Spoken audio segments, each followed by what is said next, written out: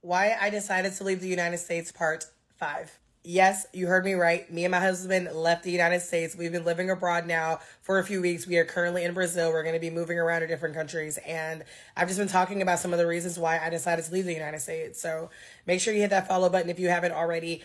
Just in case it's your first time coming across any of my videos, my name is Bianca Lynch, and I show everyday people just like you how to travel without breaking the bank or sacrificing a bomb ass time. So let's talk about reason number five. And that reason is because we literally wanted to be surrounded by other people who had a bigger vision for their life than just going to work, paying bills, dying, or, you know, getting married, having babies, doing all like checking all the boxes and like nothing else.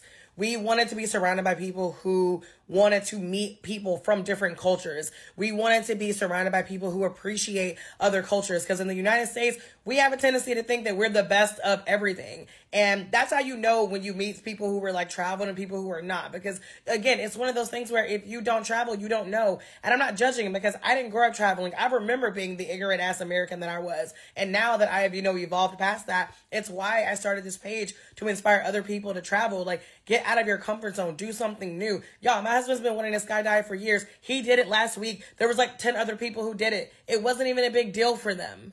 And when I say it wasn't a big deal, I don't mean it wasn't a big deal like it wasn't an incredible experience because he absolutely loved it.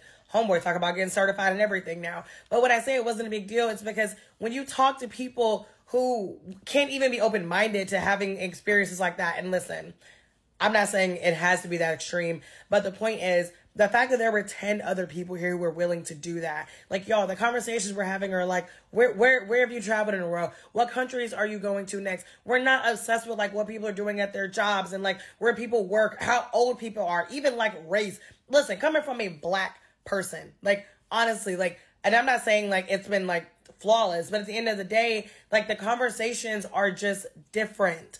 And it's been amazing to be around people who have normalized having incredible experiences instead of normalizing living a mediocre ass life where no one's really happy. You're like in a job that you don't like. You're you you're around people and it's not that you don't like them, but you know that you want more or you want to spend your time around different people. And we just make jokes, right? We just kind of like trauma bond around it, right? We make all these jokes about how like we just need to go like get drunk or whatever. Like y'all, it's we get one life, like one life. And we just we wanted to do it differently.